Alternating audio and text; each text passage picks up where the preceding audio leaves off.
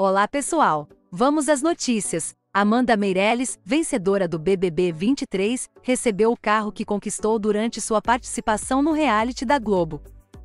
No entanto, um detalhe chamou a atenção e virou assunto nas redes sociais: o tempo que levou para ela finalmente ter o automóvel em mãos. Para aqueles que não se recordam, o programa apresentado por Tadeu Schmidt teve sua final em 25 de abril, ou seja, se passaram quatro meses até que ela recebesse o veículo. Contudo, algumas pessoas também mencionaram que outros ex-BBB esperaram por um período maior do que a vencedora. Vamos conferir o vídeo completo.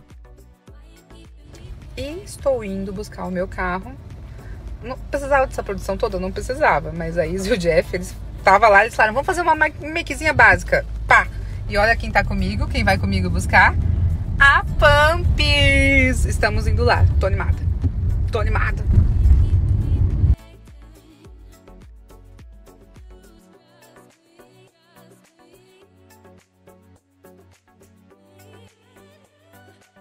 Pessoal, primeira vez que eu vou dirigir meu carro agora.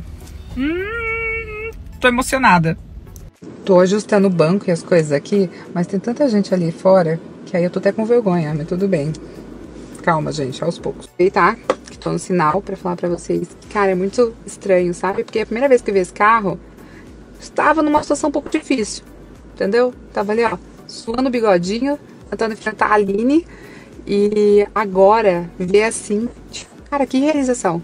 Que realização. É incrível. Nós temos uma história juntos.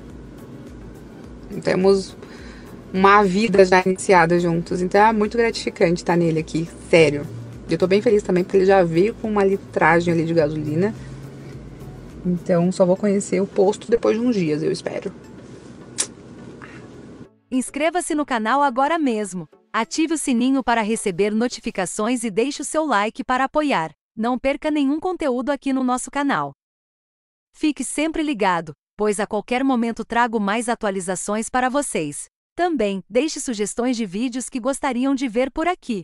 E até o próximo vídeo!